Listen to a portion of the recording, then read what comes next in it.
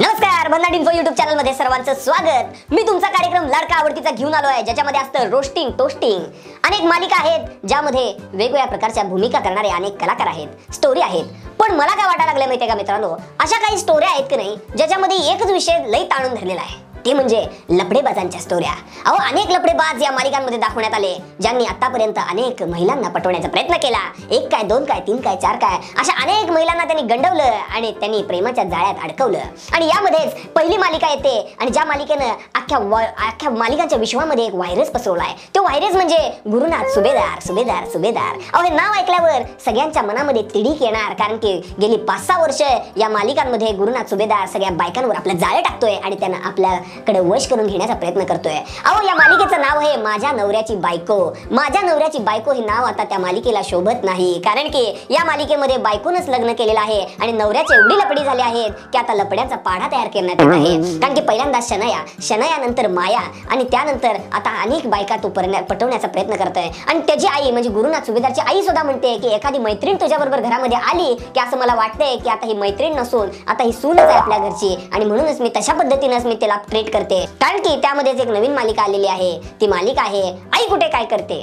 अरे आई कुठे काय करते? आई कुठे काय करते? असं म्हणता म्हणता बाबानेच काहीतरी गोळ करून ठेवलाय या मालिकेमध्ये. त्यानं वेगळीच मुलगी एक पटवल्या त्याला म्हणे आवडत नव्हती जी आता जिच्याबरोबर लग्न झाले अरुंधती बरोबर आणि त्यानं एक वेगळी बायको तयार करून आणलेली आहे. अहो लग्नामध्ये स्वतःचं लग्न चालू असताना एका खोलीमध्ये जाऊन तो काय काय नाही नाही ते धंदे करायला लागला. आणि कुठल्याही बाईनं जर असं काय तर बघितलं असतं तर शंभर टक्के तिला चक्करच आली असते. आणि म्हणूनच ही अशी चक्कर येऊन त्याला पडलेला आहे तो. म्हणजे एकंदरीत काय? या दोन्ही मालिकांमध्ये सुद्धा एकच विषय आहे तो म्हणजे आपल्या बायकोला फसवून दुसऱ्या बायकोवर प्रेम करणं. अशा अनेक मालिका आहेत. तुम्हाला पुढची मालिका मी सांगतो. ती मालिका आहे रात्रीचे खेळ चाले अण्णा नायकानं असा धुमाकूळ घातला या मालिकांच्या विश्वांमध्ये. त्यानं तर पार अगदी कलमावर कलम कलमावर कलम लावले आहेत. पण अण्णा नायकाचं एक वैशिष्ट्य मला वाटते ते म्हणजे अण्णा नाईक कुठल्याही प्रकारचा सुराग मागं ठेवत नाही. तो डायरेक्ट कलम करून मोकळा होतोय. एखादी बाई पटवली त्यानं तो त्याला मारूनच टाकतोय. म्हणजे प्रेम झाल्यावर प्रेम प्रकरण झाल्यावर ज्याला त्याला जे पाहिजे ते मिळाल्यावर तो ठेवत नाही त्याला मारून टाकतोय. हे महत्वाचं आहे. म्हणजे असं जे काय गावामध्ये वातावरण झालंय एखादं नवीन पोरग झालं की अण्णाच बापूस आहे त्या मुलाचा असं वाटायला लागतंय. म्हणजे अण्णा नायकाच्या प्रकरण तुम्हाला आता मी सांगतो. एक भिवरी झाली त्यानंतर शेवंता शेवंतानंतर बऱ्याच बायका त्यानं पटवल्या आणि स्वतःच्या बायकोला गंडवलं. आणि अशा प्रकारे या गंडवागंडवीचा कार्यक्रम असाच पुढे पुढे पुढे चाललाय. अहो या मालिकांमध्ये आणखीन एक निवडून आलं. अरे काय फालतू मालिका? एकच विषय सेमच चॅनल आणि त्या चॅनलवर सेमच विषयाची मालिका ती म्हणजे लग्नाची वाईफ वेडिंगची बायको.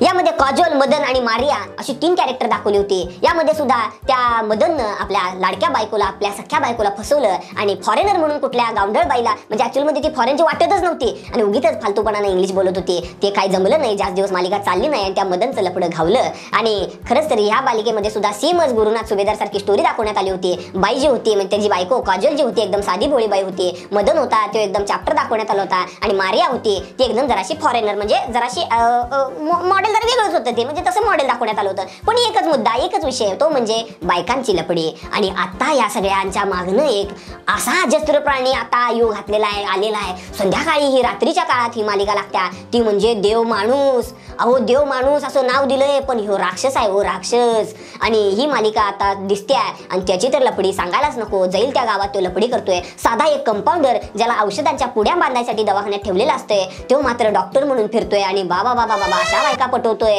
एखाद्या डॉक्टरला सुद्धा जमणार नाही असा ह्यो कंपाऊंडर काहीतरी करून दाखवतोय. आणि ह्यो देव माणूस असा ह्यो लपड्याबाज देव माणूस आपल्याला आता ह्यो टीव्हीवर दिसतोय. अहो दुसरी पुढची मालिका आहे. तुला पाहते रे. अहो डोळे फुटले पाहून पाहून. अहो पन्नास वर्षाचा माणूस पन्नास पंचावन्नचा माणूस इथं एका छोट्या मुलीला पटवतोय. इथं तरुण पोरांना एकवीस बावीस तेवीस पंचवीस वर्षाच्या पोरांना पोरी मिळणार तेवढी वाईट अवस्था आल्या. आणि पन्नास वर्षाचा माणूस एका छोट्या पोरीला पटवतोय. म्हणजे हे न पटणार थोडंसं होतं पण त्याच्यामध्ये सुद्धा लपडीच दाखवली हो. पहिल्यांदा या सरंजामेनं त्या राजनंदीला गंडवलं. आणि तिच्यावर प्रेमाचं नाटक करून तिच्यावर जाळं टाकलं. परत त्या इस्टेटीसाठी त्या ईशाच्या मागे लागला. गरीब बिचारी छोटी साधी पोरगी है हसणारी पोरगी. तिला पटवलं त्यानं. म्हणजे काय एकंदरीत? चांगल्या बायकोला सोडायचं आणि दुसऱ्या मुलीच्या मागे लागायचं. हेच ते प्रकरण तुला पाहतेमध्ये सुद्धा दाखवण्यात आलं होतं. त्यानंतर आणखीन एक मालिका आली घाडगे अँड सून. या मालिकेमध्ये सुद्धा तो अक्षय म्हणून होता. त्यानं सुद्धा चांगल्या साध्या भोळ्या बायकोला फसवलं आणि कियारा नावाच्या एकदम छमक छल्लू पोरी बरोबर मागे लागला. म्हणजे एकंदरीत काय? सगळं ते तेच मालिकांमध्ये दाखवण्यात येते म्हणजे लपडीबाजांच्या मालिका सध्या जोरात चाला लागल्यात विषय तो या लागलाय पुढं. एवढंच मला सांगायचं होतं. म्हणजे काय? घरच्या बायकोला फसवायचं आणि दुसऱ्या बाईच्या प्रेमात पडायचं किंवा आधीच प्रेमात पडलेलं असते ते गप आणि आधीच सांगायचं नाही. गडवायचं. मालिका फिरवायची पाच सहा वर्ष चालवायची आणि नंतर मग काय शेवटाकडे न्यायचे? हे सगळं चालू आहे आता मालिकांमध्ये. मला तेवढं सांगायचं होतं की मालिकाचा नेमका ट्रेंड काय आहे? म्हणजे नेमकं काय दाखवलं जातंय? हेच मी जरा मी विस्तृतपणे सांगण्याचा प्रयत्न केला. तर तुम्हाला हे व्हिडिओ कसा वाटला? यामधील विषयांची घालमेल कशी वाटली? म्हणजे एकच विषय कशा पद्धतीने दाखवण्यात येतो बघा मालिकांमध्ये. तर तुम्हाला अशा पद्धतीने जे विषय दाखवले येतात त्याबद्दल तुम्हाला काय वाटतं? हे कमेंट बॉक्समध्ये कमेंट करून कळवायला विसरू नका. आणि अशाच प्रकारे आपल्या मराठी माणसाच्या चॅनलला मराठी रोस्टिंग करणाऱ्या भावाला कमेंट बॉक्समध्ये कमेंट करून तुम्ही काही बोलू शकता. कारण की तुमचं मन हलकं होणं गरजेचं आहे. आणि आपलं चॅनल लाईक शेअर सबस्क्राईब करायला विसरू नका. धन्यवाद. जाऊ काय पुढच्या व्हिडिओत भेटतो.